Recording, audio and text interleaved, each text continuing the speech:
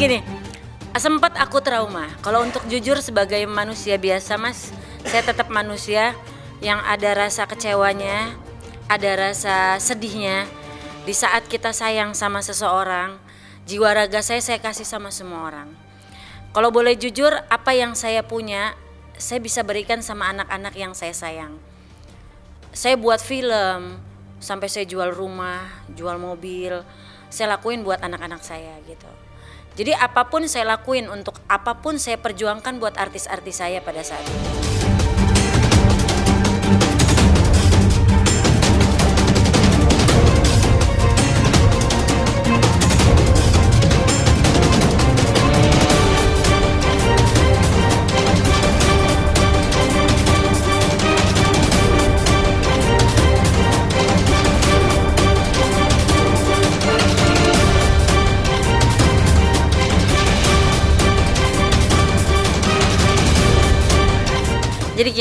Kalau Mas sendiri sih alhamdulillah ya uh, bersyukur banget di 2019 ini Emak ditemuin sama Mas Ius dan uh, anak emak namanya Andreas.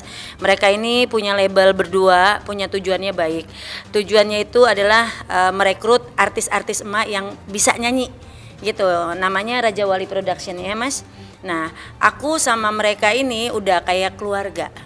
Jadi kita ada kekurangan, ada kelebihannya, kita gabungin jadi satu kita kolaborasi gitu. Aku juga dikenalin sama Andreas dikenalin sama Mas Ius waktu itu sama Om Jana uh, manajemennya Wali gitu.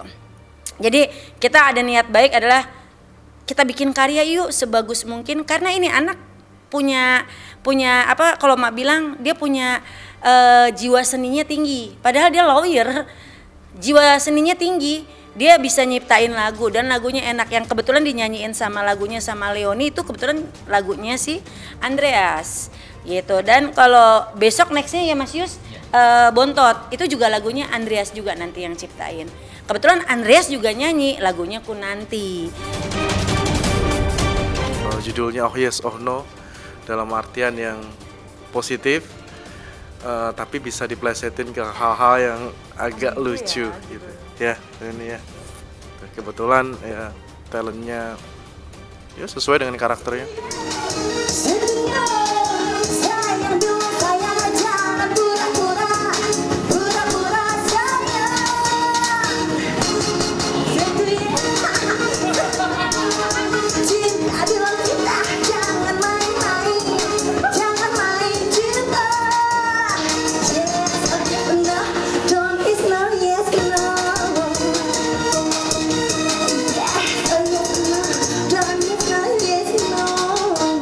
so far Leoni apa ya? Cantik satu kedua pinter dan ketiga anaknya baik dan kayaknya berbakat. Amin. Amin ya Tuhan. Pas ya kalau untuk Leoni sendiri hmm, saya rasa membawakan lagu ini ya cukup baik ya dalam artian yang ya mungkin sedikit polesan lagi udah di bawah bimbingan manajer kondang dan selesai lah ini lagu. Ya. Kalau aku bakal joget pastinya. oh, menampilkan yang lebih beda ya, menampilkan yang lebih beda, kemasannya beda daripada yang lain. Sebisa mungkin diciptakan seperti itu. Tapi tadi kayaknya agak agak kaku ya. Malu ya, masih malu-malu. Sebenarnya kalau Leoni itu uh, dia pop arahannya. Cuman karena emak lihat dangdut itu lebih lebih dicintai untuk untuk emak sendiri karena emak cinta banget sama dangdut. Emak bilang sama Leoni, Leoni, emak mau coba Leoni itu dangdut.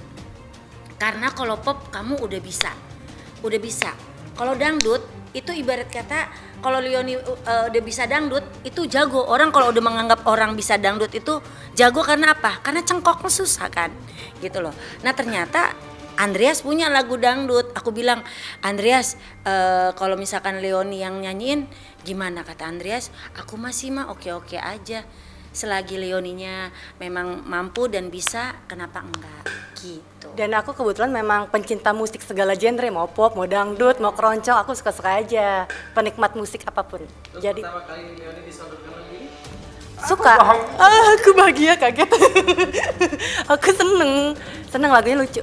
Lagunya lucu.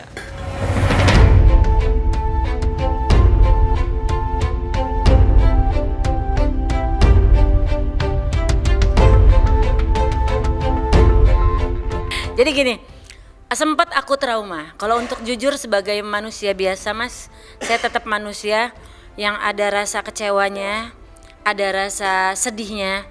Di saat kita sayang sama seseorang, jiwa raga saya saya kasih sama semua orang. Kalau boleh jujur, apa yang saya punya, saya bisa berikan sama anak-anak yang saya sayang. Saya buat film, sampai saya jual rumah, jual mobil, saya lakuin buat anak-anak saya gitu. Jadi apa pun saya lakuin untuk apa pun saya perjuangkan buat artis-artis saya pada saat itu gitu. Tapi di saat titik baliknya tidak ada kesuksesan di dalam situ, ada sesuatu yang maaf kadang-kadang ada beberapa hal yang mungkin saya juga sebagai manusia juga pasti ada salah, nggak selamanya saya benar gitu. Cuman ya itulah yang saya bilang tadi bahwa nggak gampang untuk naik lagi nih mas ke 2019 ini untuk mencapai ke 2019 ini saya itu dengan penuh uh, jatuh bangun. Sampai saya tuh sempat jualan warung saya sempat ba jualan bakso jualan nasi goreng sambel. saya jualan sambel. Apa aja saya jual yang penting saya tidak jual harga diri saya sebagai wanita gitu loh. Saya selalu bilang sama anak-anak saya kita jual karya jangan pernah kita jual sensasi. Karena saya nggak suka sensasi saya sukanya prestasi. Gitu. Jadi saya bilang sama anak-anak saya pun dari dulu sampai sekarang kalau kita mau maju kita maju bareng. Jangan sampai kita nggak ini saling bantu. Kayak dulu Ulfa bantuin Olga.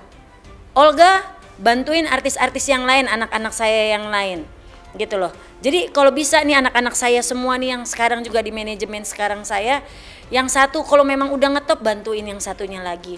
Yang satu belum ngetop dibantuin yang satunya lagi. Kalau saya mau ya seperti itu. Ya. Karena hidup itu harus saling membantu sebenarnya. Kayak almarhum dulu juga begitu. Almarhum juga kayak gitu kan. Bantu siapa pun dibantu sama dia.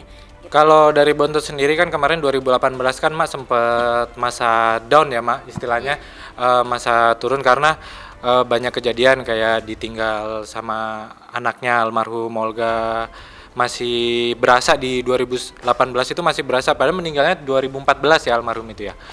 Nah, terus di banyak uh, terus banyak anaknya ditinggalin lah nah ma, sama anak-anak didiknya. Ya, Mak masih masa down ini sekarang kita kalau Bontot selalu ada di samping Mak dari dulu. Jadi karena Bontot juga numpang di rumah Mak, jujur banget sih. Ini di depan, ini depannya bukan samping. krik krik krik krik nggak jadi bontot memang selalu di samping mak ya pokoknya kita sebagai anak-anaknya mak yang ada sekarang ini kita selalu berusaha gimana caranya mak biar bisa bangkit lagi insya Allah 2019 ini dipertemukan dengan orang-orang yang baik kayak Mas Andrea sama Mas Yus itu orang-orang baik yang berkolaborasi dengan mak membawa sinergi yang lebih bagus lagi uh, ke depannya lebih mantap lagi. Ya pokoknya kita bisa menghasilkan karya-karya yang bagus dari sebelumnya. Kayak 2018 kita belum kita sudah berkarya masih belum. Sekarang ditambah lagi apabila kita bergabung itu akan karya kita akan semakin tambah Sinergi tinggi. sinerginya lebih, lebih baik.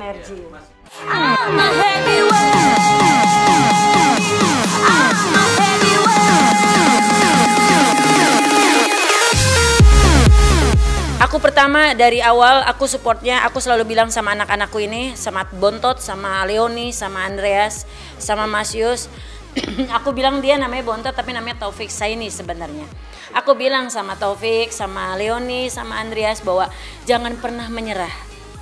Apa pun segala usaha kita coba. Yang penting satu ikhtiarnya niatnya baik. Kalau kita punya niat baik insya Allah pasti ada jalan baik saya support. Pasti mereka akan jadi. Insya Allah atas izin Allah semua jadi. Iya benar. Dan bentuk nambahin boleh mak? Boleh. Dan percaya sama manajer karena seorang manajer itu nggak akan pernah menjerumuskan anaknya ke dalam hal yang negatif.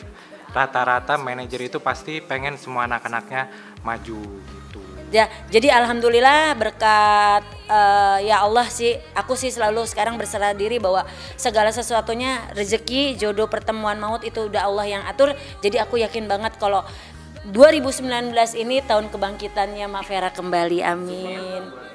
Ya, satu lagi pesan juga untuk sesama manajer semuanya seluruh Indonesia. Saya sebagai manajer juga yang mencari rezeki buat anak-anak saya.